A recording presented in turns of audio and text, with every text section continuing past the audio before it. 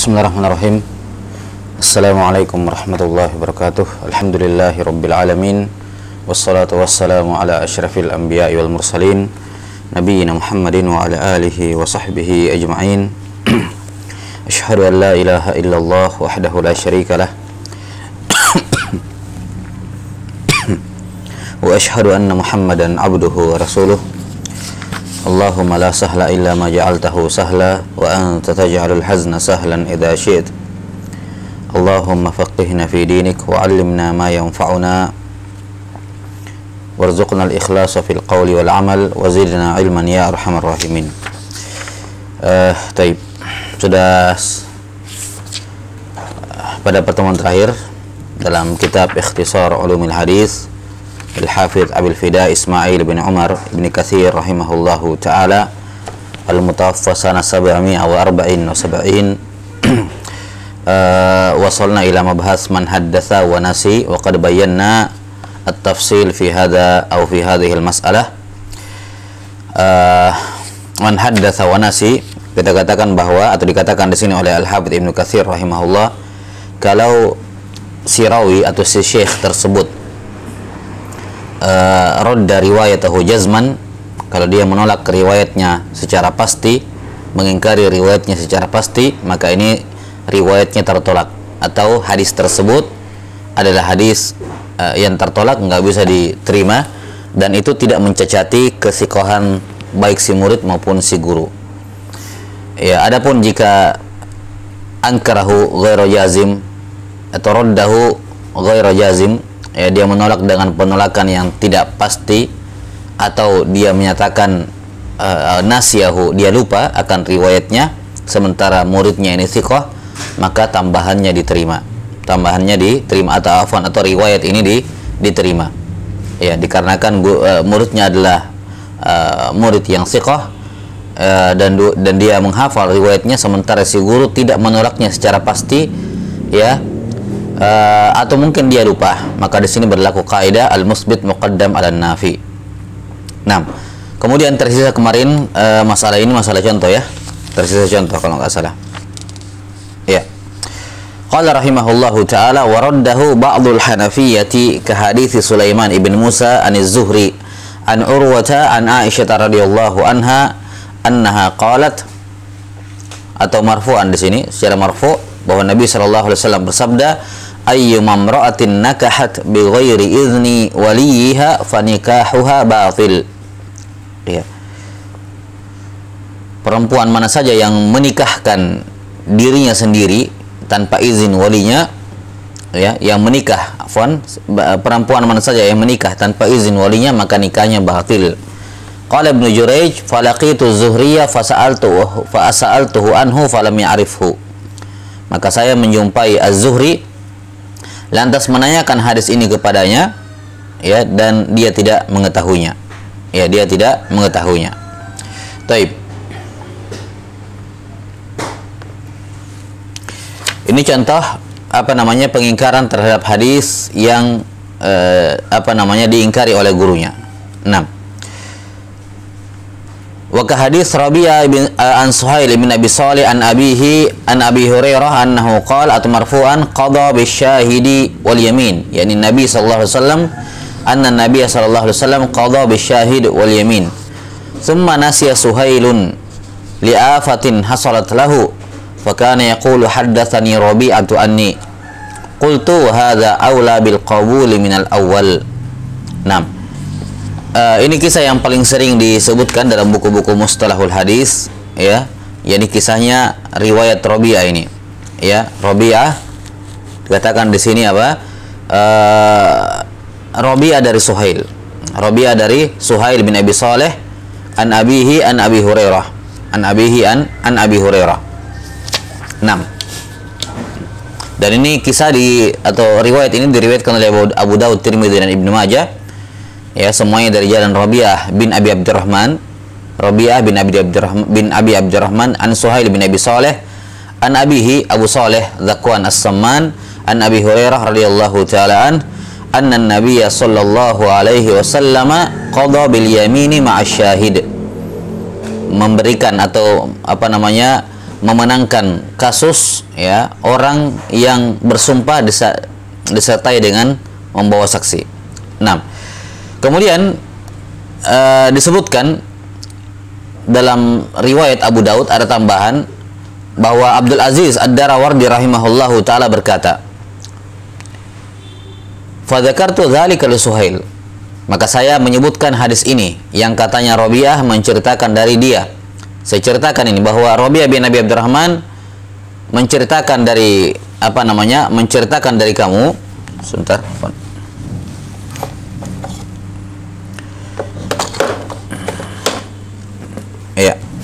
Menceritakan dari kamu dari apa namanya? Uh, ayahmu. Ya, fa dzakartu dzalika li Suhail. Haddatsani Rabi'ah. Ya, jadi di sini Abdul Aziz Ad-Darawardi rahimahullahu taala apa namanya? Uh, kalau nggak salah beliau meriwayatkan dari Rabi'ah bin Abi Abdurrahman. Ibn Abi Abdurrahman. Abdul Aziz Ad-Darawardi meriwayatkan dari Rabi'ah bin Abi Abdurrahman dari Suhail bin Abi Soleh. Kemudian uh, dia punya akses atau mendapati masih mendapati Suhail bin Abi Soleh, maka beliau meriwayatkan hadis ini secara ali.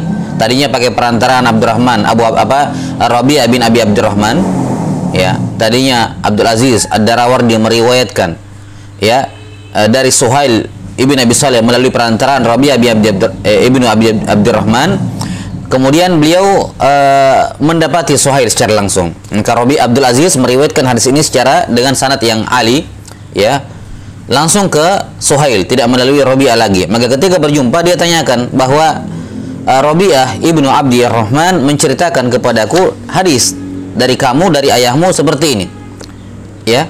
Maka apa namanya dia pun uh, Suhail kemudian tidak mengingatnya tidak mengingat riwayat tersebut, tidak mengingat bahwa dia pernah menceritakan hadis itu kepada Robiah. Ya. Maka Abdul Aziz mengatakan apa namanya? Tidak, Abdul Aziz apa Robiah menceritakan kepada saya dan dia thiqah. Ya.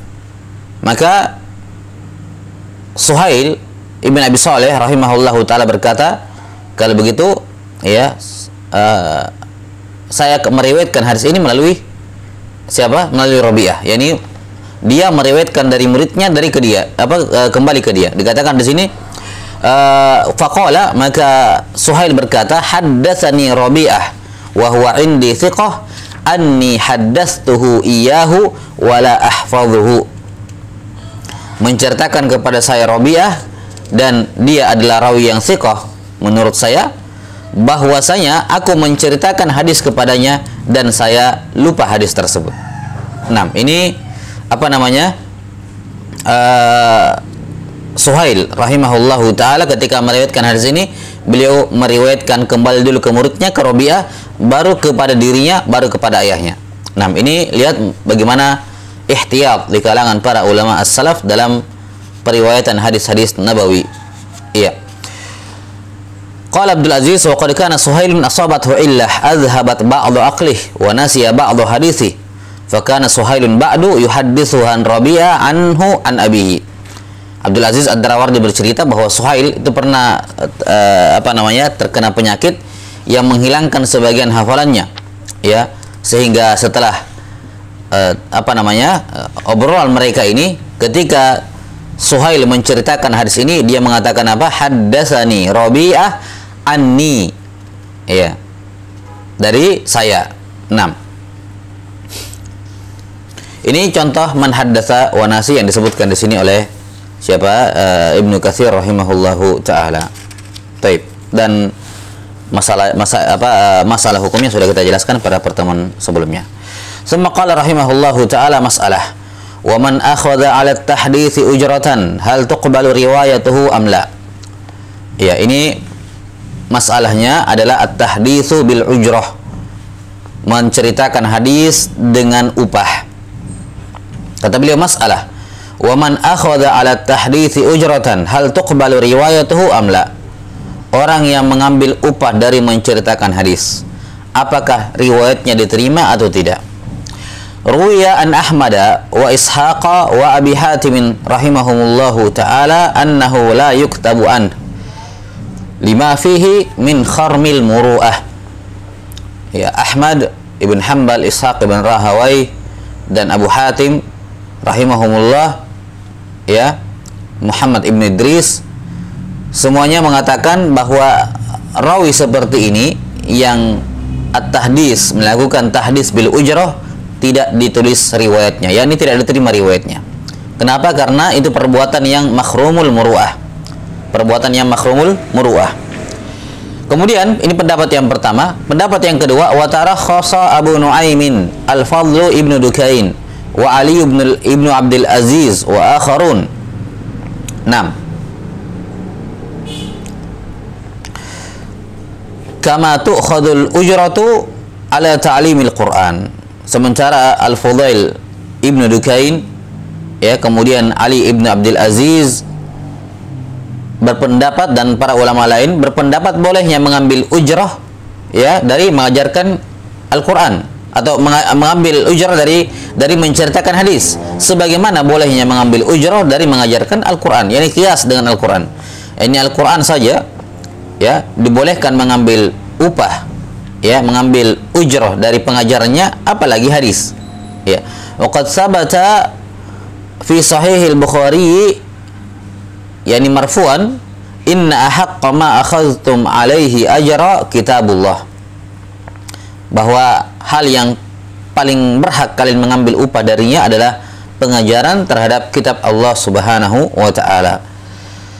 Wa qad afta Syekh Abu Ishaq Asy-Syirazi faqihul Iraq bi Baghdad li Abi Husain ibn ibn Naqur bi akhdhil ujrah li syaghlil muhaddithin lahu ala takassubil iyalihi dan Abu Ishaq Syirazi ya uh, memberi fatwa kepada Abu Husain An-Naqur akan bolehnya dia mengambil ujrah ya dikarenakan al-muhaddisin yakni para uh, guru yang menceritakan hadis sibuk ya menceritakan hadis kepada uh, para penuntut ilmu sehingga tidak punya waktu, tidak ada waktu untuk takassub li iyalihi untuk mencari penghasilan untuk keluarganya. Nah, dan pendapat yang kedua ini yang mentarkhis yang membolehkan ini yang dirajihkan oleh Al-Hafidh As-Sakhawi rahimahullahu taala dalam Fathul Mughis. Baik, tentang masalah ini sebenarnya uh, boleh tidaknya mengambil ujrah ya dari ini tentunya kita berbicara mengenai kita tidak berbicara mengenai pahala dan semacamnya karena itu uh, sya'nun akhar tentunya perkara yang lain. Kita berbicara masalah keabsahan riwayat ya keabsahan riwayat 6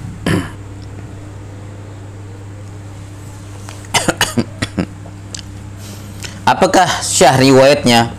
Syah, uh, syah mengambil riwayat orang yang mengambil upah. Ya dari tahdis. Ya sebagaimana yang dirajihkan oleh Sakhawi rahimahullahu taala bahwa hal tersebut dibolehkan.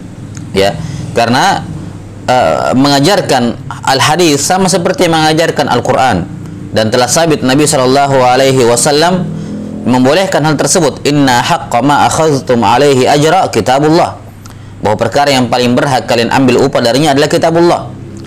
Dan juga sudah warid bagaimana Muad uh, siapa? Abu Sa'id Al-Khudri radhiyallahu taala mengambil atau menerima upah uh, kambing ya dari meruqyah membacakan Al-Qur'an. Membacakan Al-Qur'an surah Al-Fatihah dalam dalam uh, ketika meruqyah. Nah, Kemudian dari sisi yang lain bahwa takasub ya itu memang perkara yang wajib bagi seorang kepala rumah tangga ya. Namun dalam ketika misalnya ketika uh, ilmunya dibutuhkan atau dalam masalah ini riwayatnya dibutuhkan dan banyak orang yang mengambil ilmu kepadanya, mengambil riwayat kepadanya ya seharian tanpa ada waktu ya kecuali mungkin untuk rehat sejenak dan seterusnya ya yang tidak memungkinkan dia untuk mengambil upah maka dalam hal ini tidak memungkinkan dia untuk takasub untuk mencari nafkah maka dalam hal hal ini tentunya minal apa termasuk dari uh, maslahat ketika dia diperbolehkan untuk mengambil ujrah. Ya diperbolehkan bagi dia untuk mengambil ujrah. Ya karena mengajarkan Quran mengajarkan hadis kemudian uh, apa namanya memberikan uh, riwayat dan seterusnya ini termasuk jasa termasuk apa? Jasa. Eh, dan namanya jasa secara umum eh, boleh seorang mengambil mengambil upah dari jasa ya dalam bab al-ijarah ya. Karena itulah Imam Nawawi rahimahullahu taala dalam At-Tibyan fi Ulumil Quran menyatakan bolehnya hal tersebut. Yakni mimbab al-ijarah dia menyewa seorang guru untuk mengajarinya. Kemudian di, diberikan upah. Ya tentunya kalau kita anggap dia mimbab ijarah maka eh, jelas aturannya jelas apa? Jelas aturannya. Yakni dalam akad jelas aturan-aturan yang berkenaan dengan akad ijarah tersebut harus jelas. Nah dan Imam Nawawi rahimahullahu taala menyebutkan riwayat yang uh, seorang sahabat yang mengajar itu. Seorang sahabat yang uh, mengajari sahabat lain, sahabat uh, ahlus sufa kalau nggak salah, mengajari mereka Al-Quran, ya, mengajari salah seorang ahlus sufa ini Al-Quran. Ya, kemudian pada hari-hari tertentu ketika selesai mengajar, dia dihadiahkan atau diberikan al-qaus, uh, apa namanya busur. Maka beliau bertanya kepada Nabi Shallallahu Alaihi Wasallam, boleh nggak saya terima busur ini? Ya, kata beliau kalau kamu ingin mengambil bara jahanam atau kalimat yang semacamnya ya dari Nabi sallallahu alaihi wasallam kalau engkau ingin mengambil bagian dari jahanam maka silakan kamu terima busur tersebut maka beliau pun sahabat ini mengembalikan kepada ahlus sufa tersebut ya di sini dikatakan oleh Imam Nawawi rahimahullah dan juga para ulama lain menyatakan bahwasanya uh, Nabi sallallahu alaihi wasallam mengatakan kepada sahabat ini kalau kamu ingin mengambil bara atau bahagian dari jahanam silakan kamu ambil busurnya ini di, di, diarahkan oleh oleh para ulama. Di antaranya mengatakan bahwasanya ini ahlus sufa, mereka masakin. Mereka masakin, mereka butuh kepada hartanya. Maka bukan ya apa maka tidak dibenarkan ada seorang yang kemudian menerima ya menerima uh, pemberian dari orang yang seperti itu masalah. Yes. Apalagi uh, untuk mengajarkan Quran ada yang mem, uh, apa, uh, menjawab atau mengarahkan seperti ini. Kemudian ada yang lain mengatakan bahwasanya dia dilarang oleh Nabi SAW untuk mengambilnya karena asalnya asalnya tidak ada perjanjian yakni asalnya sahabat ini mengajari ahlus sufa ini Al-Quran adalah ihtisaban ya murni untuk mengharap pahala tidak ada upah dan tidak ada tidak ada yang mengharap dan tidak ada tidak ada yang meminta dan tidak ada yang memberi pada dasarnya maka ini semua dibangun di atas dasar keikhlasan ya kemudian tiba-tiba dia diberikan busur tersebut maka kata Nabi SAW, jangan diambil karena asalnya kamu itu ihtisab. Maka jangan kamu rubah. Jangan kamu rubah menjadi apa? Ya, niat seperti itu. Niat untuk mencari, untuk untuk mendapatkan ujroh. Nah, kata Nawawi rahimahullahu taala, ini berbeda dengan orang yang dari asalnya memang niatnya ujroh. Ya, niatnya apa? Ujroh, yakni mengajarkan Quran, mengajarkan hadis dan semacamnya dari awal sudah jelas. Misalnya kalau kita sekarang Ustadz ngajar di masjid ini sekali sepekan, ya insentif sekian misalnya ya maka seperti ini ujroh tidak ada masalah tidak ada masalah karena ini membab apa namanya lijarah. Sebagaimana yang disebutkan di sini ya kias terhadap Al-Qur'anul Karim. Ya, kata Imam Nawawi rahimahullah kalau demikian maka tidak ada masalah. Maka tidak ada masalah. Taib. Apalagi kalau ini ditambahkan dengan apa yang kita sebutkan tadi bahwa e, mungkin si e, alim tersebut atau si uh, muhadis tersebut memiliki banyak keluarga ya. Dia adalah keluarga yang besar kemudian tidak punya waktu untuk takasub kalaupun ada mungkin tidak mengkafar dan tidak ada misalnya bantuan dari pemerintah dan seterusnya ya maka hal tersebut dibolehkan. Dan ini termasuk dari masalah apa termasuk tidak diragukan itu termasuk dari maqasidus syariah ya termasuk dari maslahat-maslahat syariah ya. Namun tentunya al aula kalau dia sudah tercover dengan misalnya uh, warisan yang banyak sebagaimana para ulama terdahulu. Beberapa di antara mereka mewarisi harta yang banyak. Atau misalnya ada rotib bulanan dari pemerintah masalah ya atau dari uh, yayasan tempat dia uh, apa namanya mengajar dan sudah tercover seluruhnya. Yakni dia sudah memiliki kecukupan bahkan mungkin kelebihan dari kebutuhan keluarganya maka al aula tarkuhu ya, tidak diragukan al aula tarkuhu. Nah ini sekali lagi kita hanya berbicara mengenai aulawiyah. Ya sisi dari sisi keafdolan saja. Wa illa asluhu mubah. Ya tidak dilarang untuk uh, mengambil hal yang berlebih. Ya mengambil hal yang berlebih. Ini kita kalau kita berbicara mengenai Quran dan hadis. Adapun ul, ul ilmu yang lain maka masalahnya lebih ringan. Ya, ilmu lain masalahnya lebih ringan. yakni lebih boleh lagi misalnya mengajar bahasa Arab, mengajar usul fikih, mengajar mustalahul hadis dan semacamnya, maka ini masalahnya lebih ringan lagi karena yang dipermasalahkan oleh para ulama adalah masalah Quran dan hadis atau secara khusus di sini hadis. Ya, secara khusus dalam masalah ini adalah al hadis. Adapun ilmu-ilmu alat itu penunjang e, maka itu masalahnya lebih ringan lagi. Dibolehkan bagi dia untuk mengambil ujrah dari mengajarkan Al-Qur'an dan hadis dan seterusnya apa, apa uh, bahasa Arab ataupun mustalahul hadis. Bahkan walaupun dengan menetapkan upah menetapkan ujur tertentu tidak ada masalah. Karena dalam perkara ijarah tentunya harus jelas. Dalam akad ijarah tentunya harus jelas berapa ujrohnya ya maka tidak bisa kemudian samar-samar terserah anda dan seterusnya. Ini tidak dibenarkan kalau dalam akad ijarah. Nah Allah taala alam bisawab.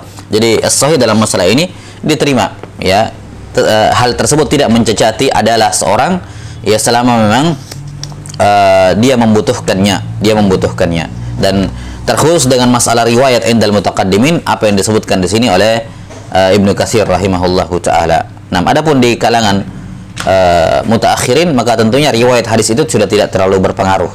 Ya tidak terlalu berpengaruh. Taib. Summa qala rahimahullahu taala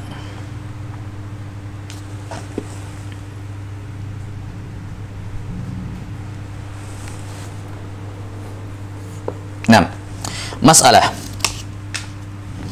Qala al-Khatib al-Baghdadi rahimahullahu taala.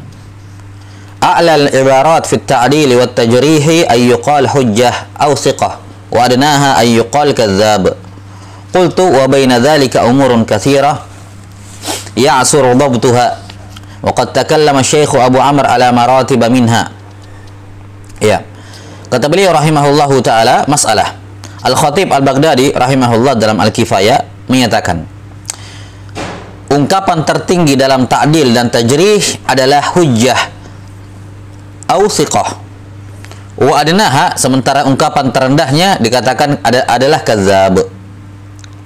Ya kata Ibnu Katsir rahimahullahu taala qultu wa baina dzalika umurun katsira ya'suru dhabtuha. Dan di antara a'la dengan adna al-ibarat ini ada banyak ibarat lain, ada maratib di antaranya ya, ibarat apa ada ada banyak maratib di antaranya ya asuru dhabtuha. Ya, yang apa namanya? Uh, sebagiannya agak sulit untuk didhabt.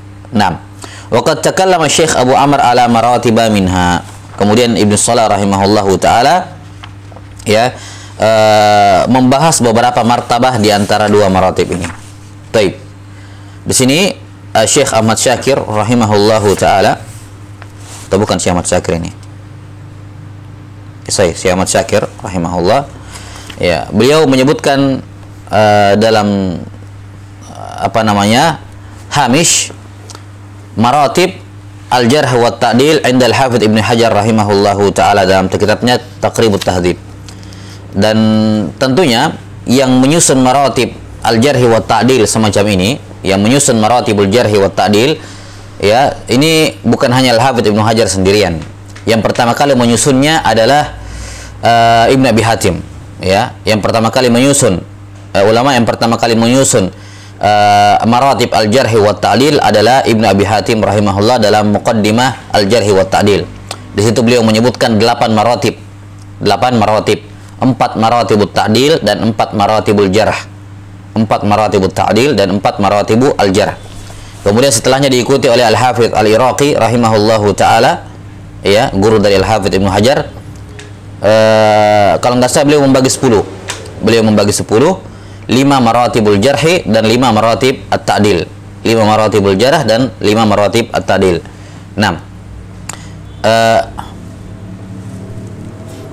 atau Al-Iraqi eh, Al-Iraqi atau Ibnu Salah ya, saya lupa.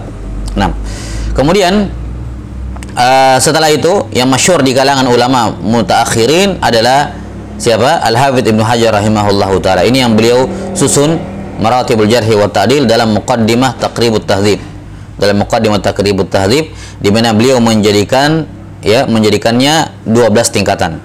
Ya, menjadikannya 12 tingkatan beliau akan sebutkan nanti bahwa uh, apa namanya yang makbul itu cuma sampai tingkatan yang keempat ya tingkatan yang keempat. Adapun eh, yang kelima ke bawah 5 sampai 12 ini uh, maratib al-jar ya, jadi ada 12 maratib empat maratib yang pertama atau enam empat maratib yang pertama itu maratib ta'dil sementara sisanya yang terakhir ya 5 sampai 12 ini maratib al-jarh.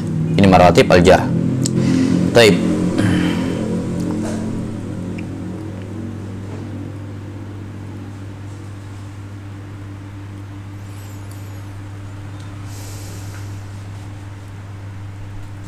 Nah.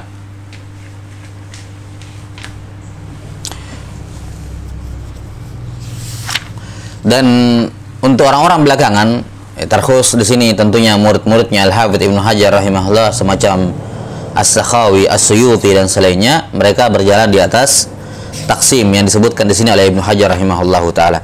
Dan tentunya taksim beliau ini ya tidak diragukan secara umum ya itu sudah mutkin kebanyakannya itu sudah apa namanya mutkin dan berada pada tempatnya. Kecuali ada beberapa poin-poin tertentu yang tentunya tidak ada yang lepas dari kesalahan. Dan kitab takribut tahzib ini sampai sekarang terus dibahas oleh para ulama ya kemudian di uh, ditahrir kembali dan pada beberapa masail kritikan masuk pada Al-Hafidh Ibnu Hajar rahimahullah dalam hukum beliau terhadap takrib dalam takribut tahzib ini. Baik, kita bacakan di sini membabil faidah. Ya. Uh, jadi Al-Hafidz Ibnu Hajar rahimahullahu taala menjadikannya 12 tingkatan. Al-ula as-sahabah. Tingkatan pertama tingkatan sahabat.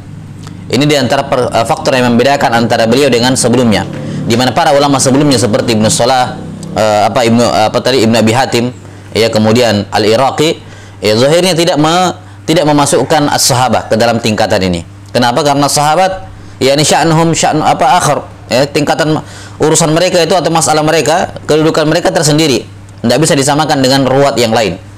Ya tidak tidak bisa disamakan dengan ruwat ruwat yang lain. Namun di sini Al Hafidz Ibnu Hajar rahimahullah dalam Takribut Tahdzib memasukkan jenjang sahabi ke dalam apa namanya uh, jenjang at-ta'dil jenjang at-ta'dil. Dan bila syak tentunya ketika seorang rawi dikatakan fulan sahabi maka tentunya itu apa ta'dil. Bahkan dikatakan di sini a'la at-ta'dil. Tingkatan ta'dil yang paling tinggi.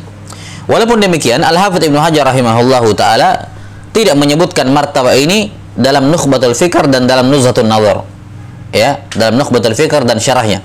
Di mana beliau menjadikan uh, tingkatan yang pertama adalah apa? Ya yang datang dengan sigo af'al. Ya yang datang dengan sigo taf tafdil dengan wazan tafdil dan beliau tidak menyebutkan jenjang sahabat di nukhbah. Ya, demikian pula di syarahnya beliau tidak singgung. Namun di takribut tahdzib beliau menjadikan uh, jenjang suhbah ini sebagai jenjang ta'dil yang tertinggi. Nah, Allahu alam bisawab. Kemudian yang kedua, wa min ak wa man ukida madhuhu bi af'al. Jenjang ta'dil yang kedua di bawahnya adalah yang uh, madah kepadanya ditakkid dibawakan dengan siga af'al ka ausaqin nas ka ausaqin nas au bitakrari sifati lafdhan ka siqatin siqah ya au maknan ka siqatun hafiz Baik, di sini di martabah yang kedua ya. Di martabah yang kedua beliau menggabungkan antara yang ditakdil ya, di ditakid apa namanya yang ditakid sifatnya dengan dengan wazan tafdil dengan yang ditakrar diulangi takdilnya. Ya, diulangi apa? Takdilnya. 6. Dikatakan di sini ausaqin nas. Itu setingkat dengan siqatun siqah dan siqatun hafid. 6. Dan di Nukhba ya, beliau rahimahullahu taala menyamakan ya di, di afwan, beliau membedakan seingat saya di Nukhba beliau membedakan antara dua tingkatan ini ya di mana yang tertinggi adalah apa ma tu'kida madhuhu bi af'al ya ditakid dengan apa af'al kemudian apa yang diulang tausiknya dikatakan sikotun sikoh ya, baik diulang dengan lafzi atau diulang dengan maknahu ya.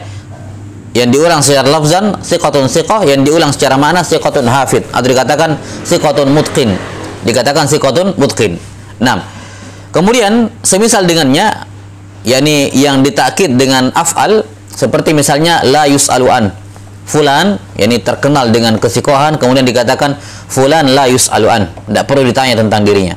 Ini tentunya lebih tinggi dibandingkan sekedar sikotun sikoh ya kemudian juga misalnya dikatakan amirul mukminin fil hadis.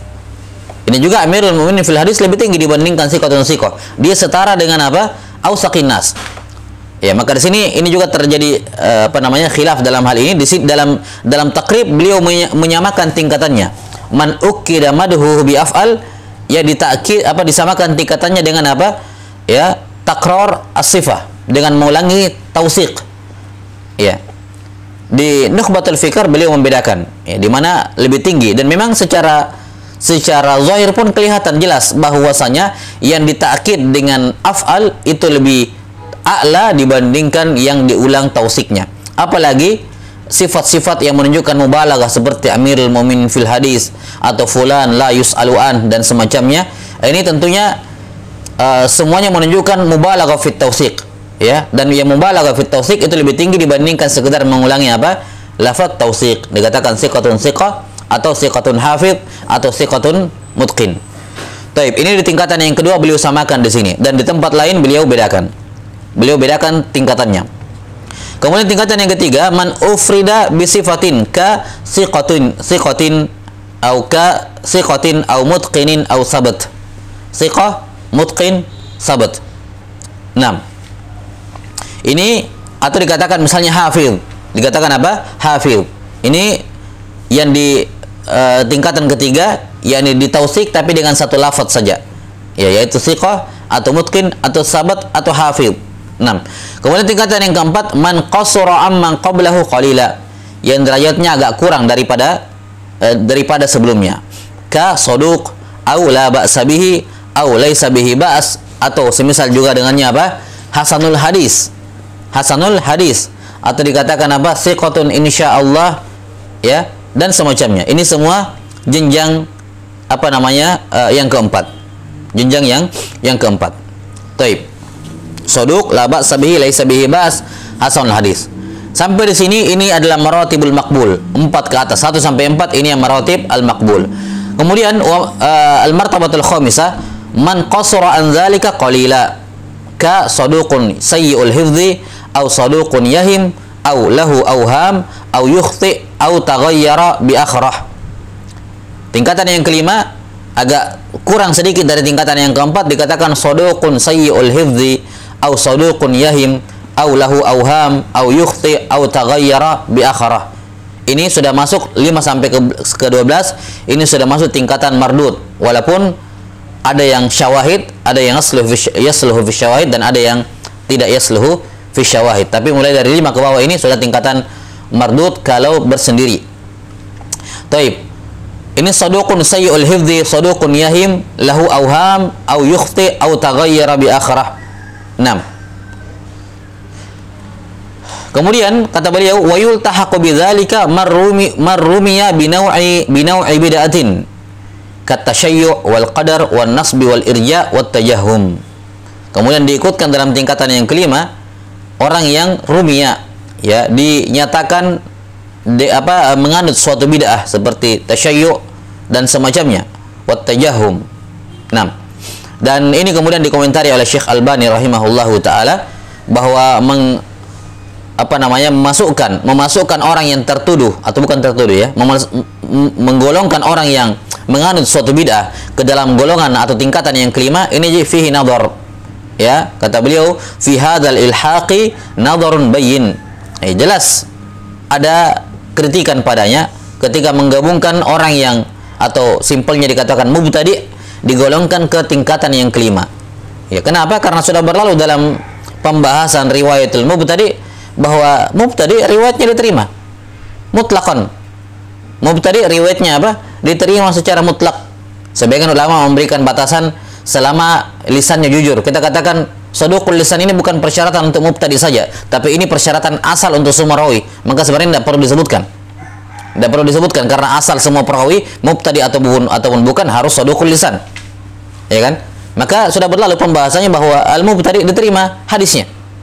Ya, mubtadi diterima hadisnya. Maka kenapa dikategorikan ke tingkatan yang kelima? Ya, mengapa dikategorikan di tingkatan yang yang kelima? Jelas sampai sini? Padahal riwayat al-mubtadi termasuk apa namanya riwayat-riwayat yang makbul, riwayat yang makbulah. Taib, Allahu alam bisawab. Kemudian tingkatan yang keenam, man laisa lahu hadis illa al-qalil. Wa lam yasbut fihi ma yutraku hadithuhu min ajlih. Orang yang riwayatnya sedikit ya, dan tidak ada keterangan yang sabit bahwa apa namanya hadisnya riwayat dia ditinggalkan gara-gara itu, gara-gara riwayatnya sedikit.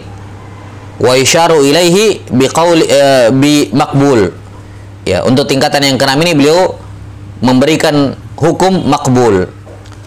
Ya, makbul di sini bukan bermakna diterima, tapi makbulun haitsu yutaba wa illa falayyinul hadis. Dia makbul kalau diterima. Kalau afwan, dia makbul kalau diikuti, ada mutaba'ah atau syahid Wa illa falayyinul hadis. Kalau tidak ada mutaba, tidak ada syahid, maka layyinul hadis. Maka tingkatan yang keenam jelas ini dhaif. Sama seperti tingkatan yang kelima. Namun kalau yang keenam ada mutabahnya bisa diterima, apalagi yang kelima. Yang kelima juga kalau ada mutabahnya diterima. Yang ketujuh wa marrawa anhu aksar min wahidin wa lam yuwassaq. Orang yang meriwayatkan darinya lebih dari dua, ada rawi meriwayatkan dari dia lebih dari dua, lebih dari eh, satu orang, afwan, yakni dua orang atau lebih dan tidak ada yang mentausik ya ini beliau istilahkan mastur atau majhulul hal. Ya. Taib, majhul, uh, mastur dan majhul hal ini sebagaimana yang beliau sebutkan dalam Nukhbatul Fikar ya al-mastur termasuk rawi-rawi yang bisa dihasankan hadisnya ligoirihi kalau ada mutabah ya kemudian yang kedelapan wa, uh, man lam yujad fihi tawsiqun mu'tabar wajaha wajaha fihi tad'ifun wa illam yubayyan Tingkatan yang ke-8 tidak ada tausik dari mu'tabar. Tidak ada tausikun mu'tabar. Yang dimaksud dengan mu'tabar di sini yakni bukan mutasahil. Bukan muta mutasahil. Ada rawi yang tidak ditemukan padanya tausik yang mu'tabar. Ya. Dan e, namun e, sebaliknya ada jarah yang datang padanya, ada jarah kepadanya dihukumi dhaif walaupun dhaifnya ataupun jarahnya mujmal, tidak mufassar, tidak membayan.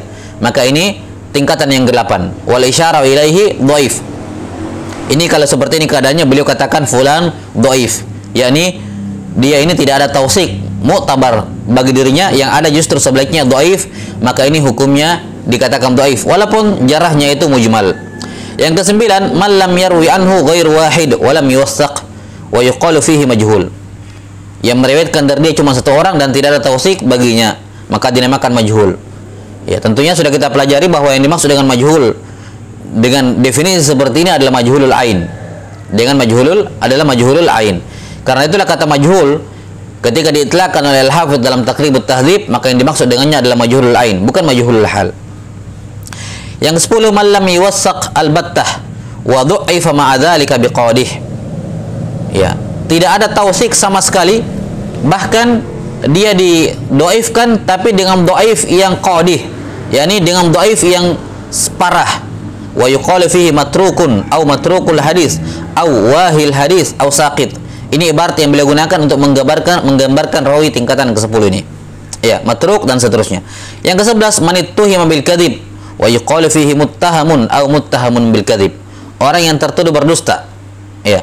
Yang ke-12 wa man utliqa alaihi ismul kadhib wal wada' ka kadzab au wada' au yada'u au ma agzabah agzabah min bab ta'ajjub. Ya betapapun dustanya dia. Ya gitu ya kadzab aw wada aw yada'u aw ma agzabah wa nahwuha wa nahwiha 6 ini 12 tingkatan yang disebutkan apa namanya oleh Al-Hafidz Ibnu Hajar rahimahullah dalam muqaddimah 6 kemudian kata apa namanya Al-Hafidz Ibnu Hajar rahimahullahu taala menjelaskan hukum dari kedua belas tingkatan ini. Kata beliau, "Wadarajatu min ba'dis sahabat." Adapun tingkatan-tingkatan setelah sahabat berikut perinciannya. Ya, yakni karena kalau sahabat itu jelas tidak perlu tidak perlu dibicarakan, hatta hukumnya pun tidak perlu. Jelas dia sahabat. Itu sudah mencukupi segalanya. Maka yang dibahas hanyalah tingkatan kedua sampai kedua belas. Kata beliau, "Fa makana minas saniyah was salisah fa hadithuhu sahihun minad darajatil ula minad darajatil ula wa ghalibuhu fi sahihain. Adapun rawi yang berada di tingkatan kedua dan yang ketiga ya, maka haditsnya sahih di tingkatan tertinggi dan kebanyakannya rawi-rawi ini adalah rawi Bukhari Muslim. Kemudian wa ma kana min ad-darajati rabi'ah fa hadithuhu sahihun min ad-darajati tsaniyah wa huwa alladhi yuhassinuhu at-Tirmidzi wa yasqutu alaihi Abu Daud. Adapun tingkatan yang keempat ini ya yakni apa tadi soduk dan semacamnya ini termasuk apa? Hadisnya sahih tapi di min ad-darajati tsaniyah. Sahih tingkatan kedua. Yakni yang dimaksud di sini makbul tingkatan yang kedua. Inilah hadis yang dihasankan oleh Tirmidzi dan yang didiamkan oleh Abu Daud. Tapi kalimat soduk apa namanya soduk dan seterusnya atau laba sabihi ini khilaf di kalangan dan ini seingat saya sudah pernah kita isyaratkan di awal ketika membahas hadis hasan. Ya. Nah bahwa derajat soduk ini uh, ikhtalafa ya para ulama berbeda pendapat dalam uh, statusnya apakah kalimat soduk itu jarah atau ta'dil? Ya, apakah soduk itu jarah atau ta'dil? Sebagian ulama mengatakan bahwa soduk itu jarah. Soduk itu apa? Al-jarah. Ya, mengapa? Karena soduk itu hanya ber, hanya apa makna soduk? Soduk itu artinya jujur, orangnya yang jujur. Sementara jujur itu hanya baru berbicara mengenai adalahnya, belum berbicara masalah dobat kekuatan hafalan. Yakni perkara jujur itu berbeda dengan kekuatan hafalan. Betapa banyak orang-orang yang jujur tapi hafalannya lemah. Kan begitu. Maka sebagian ulama ada yang mengatakan bahwa soduk itu adalah lafat jarah. Mengapa? Karena tidak ada tansis akan dobotnya. Itu hanya tansis akan adalah, tapi tidak ada nas akan dobotnya. Nah, ini pendapat sebagian ulama dan pendapat jumhur mengatakan, kebanyakan ulama mengatakan bahwasanya soduk itu lafat tadil. Soduk itu lafat tadil. Mengapa? Karena as-saduq ini apalagi dalam bentuk siga mubalaghah, wazan faul kan begitu. Saduq yakni sama seperti siddiq ya. yakni orang yang sangat jujur. Ya, as-siddiq itu lawannya kadzib. Ya, kata mereka siddiq lawannya ke al-kadzib. Dan kadzib itu ada dua. Kadzib amdan yakni dusta bohong ya. Dan inilah ini dusta bohong inilah lawannya jujur. Dan kadzib juga bisa kadzib ghairu amdin ini lawannya apa? Salah hafal. Dobat yang kurang kuat sehingga muncul salah hafal. Maka salah hafal ini termasuk kadzib ghairu amdin. Ya, salah hafal termasuk dobat uh, afan termasuk kadzib ghairu amdin. Dusta yang tidak disengaja. Maka ketika si, uh, seorang rawi dikatakan soduk dengan sigah mubalaghah, berarti dia berada pada puncak kejujuran ataukah dikatakan dia orang yang sangat jujur. Ya, mencakup dua jenis kejujuran tadi. Ya, mencakup dua jenis kejujuran, yakni dua jenis kejujuran yang merupakan kebalikan dari dua jenis kebohongan. Ya, sidik apa kadzib amdan dan kadzib ghairu amdin. Kadzib amdan lawannya adalah dusta dan kadzib ghairu amdin lawannya adalah dobat yang bagus sehingga dia tidak salah hafal. Maka kata para ulama kalimat soduk itu mencakup kedua jenis itu, jujur lisannya dan kuat hafalannya ya jujur hafalannya uh, afan jujur lisannya dan bagus hafalannya. Sehingga dia tidak banyak salah dalam riwayat. Tidak banyak melakukan kadhib ghairu amdin dalam riwayat maka dikatakan dia soduk nah wallahu alam bisawab jadi tingkatan yang keempat di sini yang benarnya seperti kata Al-Hafidz Ibnu Hajar dia juga di tingkatan makbul atau sahih tapi di darajat tsaniyah yakni tingkatan hasanul hadis. Kemudian wa ma ba'da faminal mardud. Adapun 5 sampai 12 ini tingkatan mardud. Ya, untuk tingkatan yang kelima ada khilaf sebenarnya. Sebagian ulama mengatakan tingkatan yang kelima ini masih masih takdil. Ya. Tingkatan yang kelima ini apa? Masih takdil. Bahkan ada yang mengatakan sampai tingkatan yang keenam masih takdil, cuma takdil paling rendah sekali. Nah, di sini Al-Hafidz Ibnu Hajar tegas mengatakan bahwa 5 sampai ke 12 mardud. Ya, kecuali illa idza ta'addada turuquhu mimma kana min ad-darajatil khamisah was sadisa fa yataqawwa bidzalika wa yasiru hasanan li ghairihi. Ya. Kecuali kalau jalannya berbilang pada tingkatan 5 dan ke-6.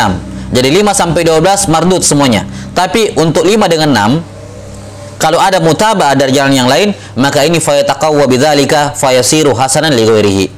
Dia menjadi hasan li ghairihi. Yani tingkatan yang kelima dan yang ke keenam. Yani saduqun sayyul hifdzi dan yang keenam makbul.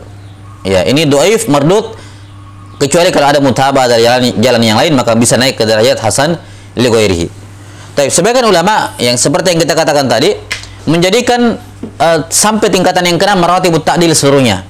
Ya tingkatan yang kelima yakni saduqun sayyul hifdzi atau saduqun yahim ini uh, masuk dalam kategori makbul.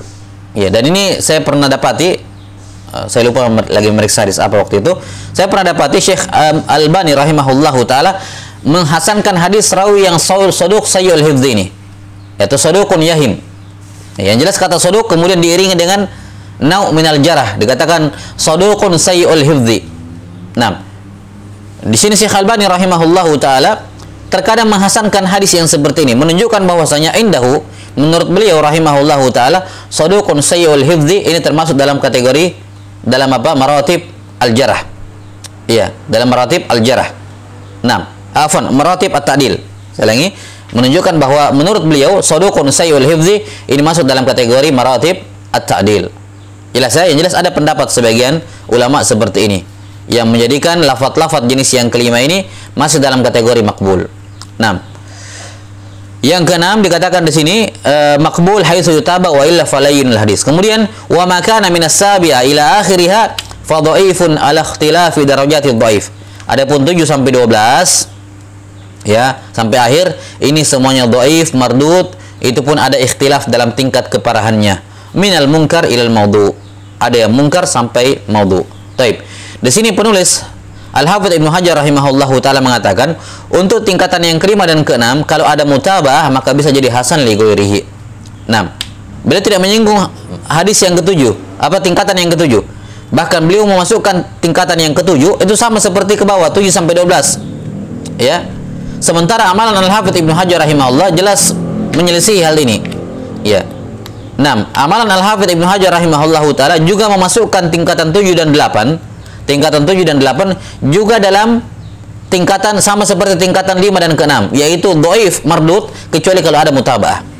Seperti misalnya tingkatan yang ketujuh majhul mastur. Ini jelas beliau katakan dalam nukhbatul fikar ya. Wa mata tu bi asayyul hifdzi wa kadal mastur ya kan? Ya kapan sayyul hifdzi di mutabah oleh yang lain? Demikian pula apa? Al mastur mastur ini majhul hal tingkatan yang ketujuh. Kalau dia mutabah sara hadithuhum hasanan la lidzatihi bal li kan begitu? Ya. Maka jelas sekali bahwa mastur dan majhul hal beliau katakan doif tapi kalau ada pendukung masih masuk dalam uh, bisa naik ke derajat hasan li maka selayaknya tingkatan 7 dan ke-8 ini tidak tidak diikutkan ke bawah tapi dinaikkan ke atas ke tingkatan 5 dan ke-6 disamakan derajatnya.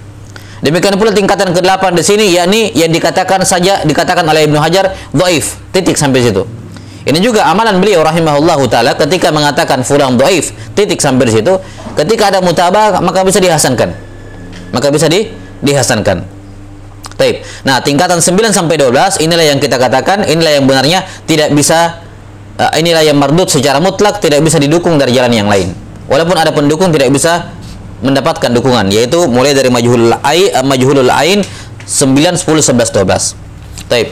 Maka uh, kita bisa simpulkan dari 12 tingkatan jarh wa ta'dil yang disebutkan oleh Al-Hafidz Ibnu Hajar rahimahullahu taala secara umum bisa dibagi menjadi tiga. Atau kalau mau kita detailkan lagi ada empat.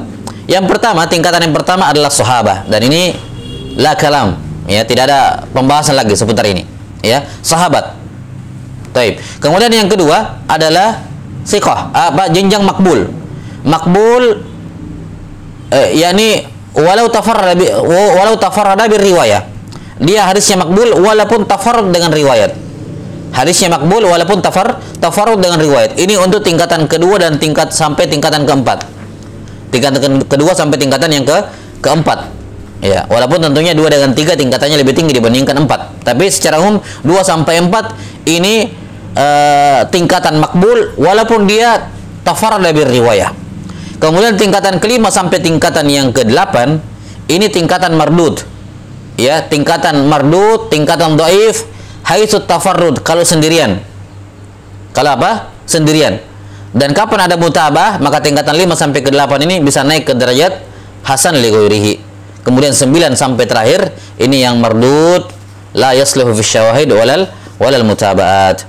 Nah wallahu taala alam bisawab nah dan tentunya kitab Al-Hafidh Ibnu Hajar rahimahullah Taqribut Tahdhib itu membutuhkan uh, apa pengkajian tersendiri dan lebih intens ya untuk uh, melihat bagaimana kejelian dan kemahiran Al-Hafidh Ibnu Hajar rahimahullah dalam bidang ini. Dan apa yang kita sebutkan tadi berupa i'tirad dari sebagian ulama itu hanya sebagian kecil ya jadi ketika di, dibicarakan dalam tanda kutip dikritisi dalam uh, poin-poin uh, beberapa poin dari Al-Hafidz Ibnu Hajar dalam Takribut Tahdzib maka yang dibicarakan oleh para ulama itu persentasenya sangat sedikit sekali dibandingkan lautan ijtihad yang luar biasa dari dari Al-Hafidz Ibnu Hajar dalam Takribut Tahdzib ya maka kritikan ini bukan bertujuan untuk menggoyahkan kedudukan takrib sebagai marja dalam hal ini.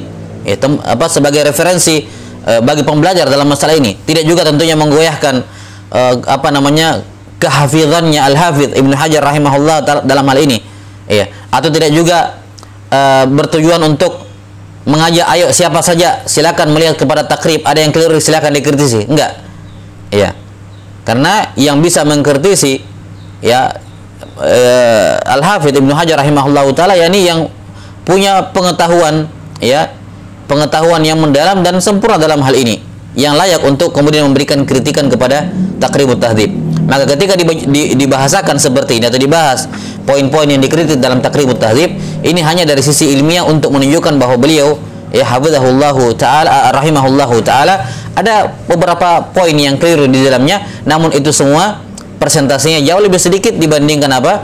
Ya nilai apa ke, uh, kemungkinan ya dan ke, ketepatan hukum yang beliau sebutkan dalam takribut tahdib ya. Yakni poin-poin yang beliau banyak di dalamnya masih jauh lebih banyak persentasenya dibandingkan apa yang kritikan-kritikan yang datang pada beliau sehingga hal ini tidak merubah apa-apa pada kedudukan Al-Hafidz Ibnu Hajar rahimahullah dan juga tidak merubah kedudukan kitab takrib at-tahdhib. Nah, Allahu taala alam bisawab.